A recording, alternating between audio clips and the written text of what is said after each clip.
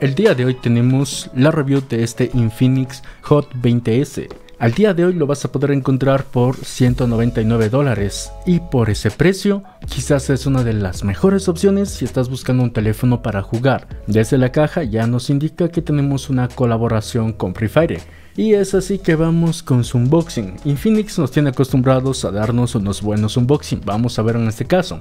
Como es costumbre, tenemos un protector TPU, tenemos los manuales, un dólar para la invitación a la comunidad, Continuando tenemos un cable de USB tipo C a USB tipo A y finalmente tenemos el cubo de carga de 18 vatios. Como podemos ver es un unboxing muy completo, nos viene equipado con todo, no tenemos micas adicionales aunque el teléfono lleva una mica de fábrica. Mi recomendación es que lo primero saques esta mica de fábrica y lo cambies por una de hidrogel que es un poco más resistente y no vas a tener problema para encontrarla puesto que la imprimen en ese momento.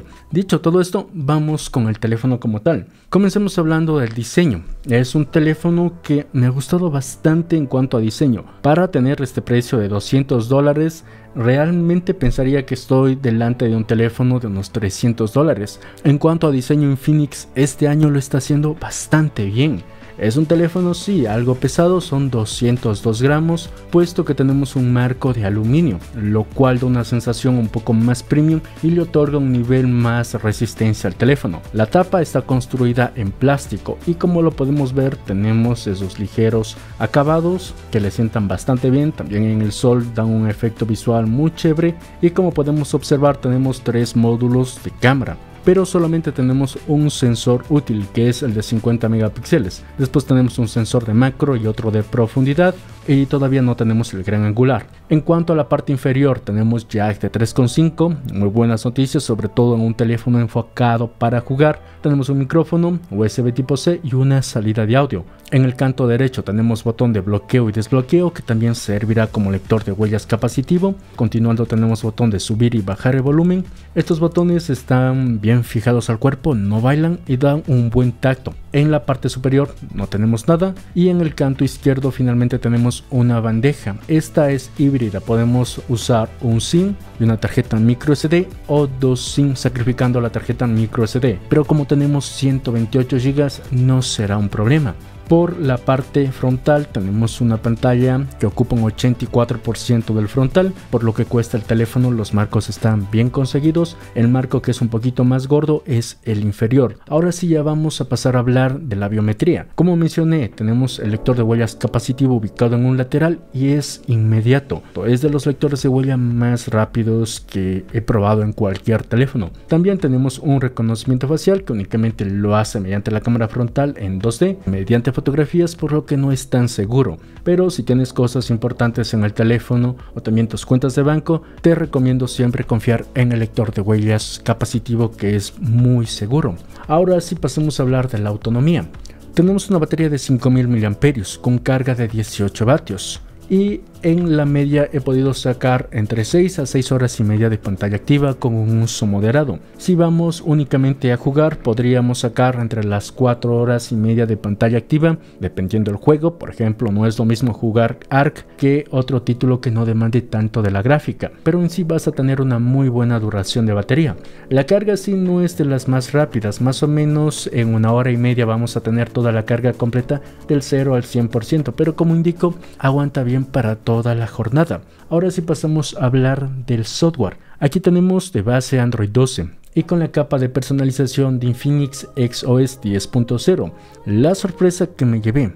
En anteriores versiones la capa de Infinix, sobre todo el panel de control, no me gustaba, solamente que tengamos el color verde no era tan chévere, sí se me hacía un poco fea, pero en esta nueva edición le ha dado un lavado de cara, es una capa que cada vez va funcionando mejor. Se parece mucho, es como una mezcla entre MIUI y ColorOS o Realme UI, además de ser muy fluida y no me ha dado problemas con bugs. Y sobre todo es una de las capas que más opciones da al usuario para poder personalizar su teléfono. Sí, por encima de las capas tradicionales, puesto que vamos a poder incluso seleccionar en qué aplicaciones, en el caso de una videollamada, poder usar el modo belleza, así como también modificar nuestra voz para cualquier llamada, te da una multitud de opciones para el usuario. Además, también como este teléfono es enfocado para jugar, tenemos un lanzador desde el cual vamos a poder modificar incluso el color del juego, ponerle algunos filtros de realista un poco más colorido, son opciones que van mejorando la experiencia de usuario. Ahora sí pasamos a hablar al fuerte de este teléfono que es el rendimiento. Tenemos al Helio G96 y viene acompañado de 8 GB de RAM y 128 GB. Podemos ampliar hasta 5 GB de RAM, esto únicamente virtual, dándonos una totalidad de 13 GB de RAM. ¿Y cuál ha sido el rendimiento de este equipo? Por 200 dólares. Es una de las mejores experiencias que te vas a poder encontrar por lo que vas a pagar. Desde títulos como Call of Duty, PUBG Mobile, Free Fire, tenemos una muy buena experiencia. En los dos primeros no tenemos la mejor configuración de gráficos, pero he tenido un buen rendimiento, una buena jugabilidad sin que el teléfono se caliente tanto. En Free Fire sí le he puesto todos los gráficos al máximo y el teléfono ha ido bien, no he tenido tirones ni caídas de frames, eso sí el teléfono se ha calentado un poquito más. Si quieres mejorar aún más la experiencia, le pones un ventilador en la parte de atrás y problema arreglado. Pero en sí el teléfono da un muy buen rendimiento, también acompañado de la tasa de refresco de 120 Hz y la respuesta del muestreo del táctil de 240 Hz, vamos a tener una muy buena experiencia al momento de jugar, siendo de las mejores opciones por 200 dólares. Si ahora mismo me dices, oye, únicamente quiero un teléfono para jugar, no me importa nada más, esta es una muy buena alternativa porque tienes un teléfono actual, tiene un buen rendimiento y es compatible con cualquier título que tenemos al día de hoy. Habrá que ver qué pasa cuando salga Call of Duty Warzone Habrá que ver cómo se desempeña, pero con lo que tenemos de momento he tenido un buen rendimiento. Después en las otras aplicaciones de redes sociales y demás, el teléfono va muy fluido. También incluso en edición de fotografía y video, el teléfono da un buen rendimiento. Eso sí, dentro de su rango de precios. No esperes tener el desempeño de un procesador de la serie 800, no es el caso. Está un rendimiento muy destacable para los 200 dólares que vamos a pagar por este teléfono. Ahora sí pasamos a hablar ya de los apartados multimedia. Aquí siempre Infinix suele recortar un poquito más, puesto que el fuerte de este teléfono es darte un excelente rendimiento para jugar y lo cumple con creces. Pero en sí en la pantalla también lo hace bien, sin destacar eso sí, puesto que nos encontramos con una pantalla IPS de 6,78 pulgadas con una tasa de refresco de 120 Hz y la respuesta del muestreo de 240 Hz con una resolución Full HD Plus. Por este rango de precios, algunos exponen únicamente HD. Agradezco que le hayan puesto Full HD Plus, es lo esperable. Y en cuanto a la experiencia con la pantalla, de primera mano es una pantalla que me ha gustado. Tiene unos colores un poquito más saturados y contrastados, lo cual hace que nos guste, al menos en este tipo de pantallas IPS, se ve muy bien. Eso sí, extraño algo en los ajustes de pantalla. Como dije, esta capa de Infinix nos da muchas opciones para personalizar el teléfono. Pero espero que para próximas versiones le metan al menos unos perfiles de color nos ayudarían más y nos darían una mejor experiencia con la pantalla. Puesto que si noto la pantalla quizás con unos colores un poquito más fríos, si tuviéramos los ajustes de los perfiles de color, pudiéramos seleccionar una pantalla quizás un poquito más cálida, más saturada, haciendo que mejore nuestra experiencia. Pero en sí, la pantalla por lo que vamos a pagar está bastante bien. En cuanto al brillo máximo, no destaca, más o menos calculo que esté entre los 450 500 nits. En la mayoría de situaciones no vamos a tener problema alguno para visualizar esta pantalla, pero si ya estamos debajo de un sol muy intenso con gafas de sol, ya no veremos mucho que se diga, pero en la mayoría de situaciones no he tenido ningún tipo de problema. También el brillo automático ha funcionado bien. En cuanto a la tasa de refresco, vamos a poder seleccionar que sea dinámica, que vaya intercambiando entre 100 120 o 60 Hz o que sea constante de 120 Hz. Con la buena autonomía que tenemos, siempre le he llevado a 120 Hz y he tenido una mejor experiencia, al menos en cuanto a fluidez, sin repercutir mucho en cuanto a la autonomía.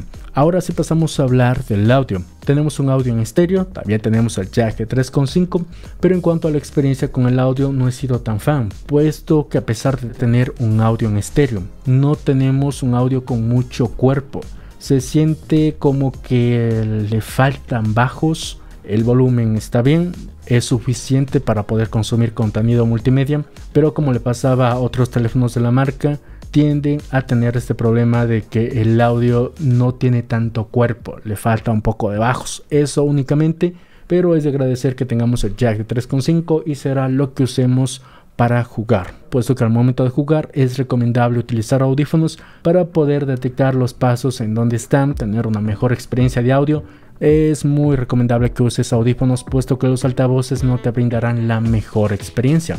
Y bien, llegó un momento de hablar de las cámaras, o de la cámara debo de decir. Tenemos un sensor principal de 50 megapíxeles, y este es el que importa, puesto que las demás cámaras es uno de macro de 2 megapíxeles y otro de 2 megapíxeles para la profundidad. No tenemos un gran angular, y a pesar de que aquí podemos ver un montón de aparentemente cámaras, hubiese cambiado todas, simplemente que tengamos el lente principal y un gran angular. Nos daría mucha más versatilidad y con el lente de 50 megapíxeles podríamos suplir la ausencia de un telefoto. Siempre es uno de sus puntos flojos puesto que nunca le ponen un gran angular. Después la experiencia con la cámara en sí hace buenas fotografías. En situaciones de buena luz vamos a tener unas fotos chéveres, también vamos a tener el modo belleza. Tenemos muchas opciones para mejorar la experiencia fotográfica con este teléfono. Eso sí, en situaciones de baja luz el resultado cae un poco más puesto que no es un teléfono enfocado ciertamente en la fotografía, pero el modo lo resuelve bien. En cuanto al video vamos a poder grabar como máximo en 2K y no contamos con ningún tipo de estabilización por lo que únicamente es recomendable hacer los videos sin mucho movimiento. En cuanto al selfie, tenemos un sensor de 2 megapíxeles, hace buenos selfies en situaciones de buena luz, eso sí, con un modo belleza todavía muy acusado y que también eh, trata un poco más las pieles, sacándonos un poco más blancos. Eh, por ahí ya saben, como un buen teléfono chino. En cuanto al video podemos grabar en 2K, también a 1080 60 fotogramas y lo que sí que me ha gustado es que en la cámara frontal podemos utilizar el modo belleza y sobre todo tenemos el video con modo retrato. Por 200 dólares tener el video con modo retrato en la cámara frontal es muy destacable. Y bien, ya casi estamos finalizando, hablemos de la conectividad. Este teléfono es 4G LTE, también podemos usar un Dual SIM, tenemos GPS GLONASS, no tenemos NFC y lo bueno que la marca llegue de forma oficial a varios países como es a la mayoría de Sudamérica es de que vamos a tener garantía directa de la marca y también no vas a tener problema con la homologación puesto que estos teléfonos ya se encuentran homologados. Y bien, es así que llegamos al final de este video. En líneas generales, recomendaría este Infinix Hot 20S por 200 dólares si lo que quieres es un teléfono para jugar, hágale, es una de las mejores opciones. Vas a tener una buena experiencia al momento de jugar, puesto que sus principales puntos fuertes es el rendimiento. Tenemos un buen desempeño en juegos. Otro de sus puntos fuertes es el diseño, les ha quedado muy bien, construcción en plástico, marcos de aluminio, quizás exageran un poco con los módulos de cámara, pero le da un aspecto visual más chévere como si estuviéramos delante de un teléfono más caro el diseño me ha agradado bastante y también en cuanto al unboxing tenemos muchas cosas desde un protector, cargador, manuales, el pincho, viene un unboxing completo, por lo que vamos a pagar no nos va a faltar nada. Ahora las cosas que sí podrían estar mejor, insisto, el lente gran angular es un obligatorio al día de hoy, sea el teléfono que sea y cueste lo que cueste, el lente gran angular es un obligatorio. Espero que para próximas versiones tengan el lente gran angular. Otra cosa que también podría estar mejor es que en los ajustes de pantalla tengamos unos perfiles de color y también podamos seleccionar la temperatura de la pantalla, lo cual nos dará un poco más juego para poder personalizar los colores de la pantalla a nuestro gusto, puesto que si he notado una pantalla quizás un poquito más fría sin tener la posibilidad de ajustarlo esto manualmente. Eso es lo único, después es un excelente teléfono por 200 dólares, cumple su objetivo, que es un teléfono para jugar. Y después en cuanto a la autonomía está bien, multimedia está ok. Y también en cuanto a la cámara vas a poder hacer buenas fotografías, eso sí sin mucha versatilidad, pero el fuerte de este teléfono es que quiere ser un buen teléfono para jugar y lo ha cumplido. Por todo ello, recomendaría este Infinix Hot 20S. Esto ha sido todo en cuanto a este video. Recuerda si tienes cualquier duda o inquietud, déjamelo saber en la caja de comentarios. Sin más, mi nombre es Edison y nos vemos en un nuevo video. Que la fuerza y el bebé Yoda los acompañe. Hasta pronto.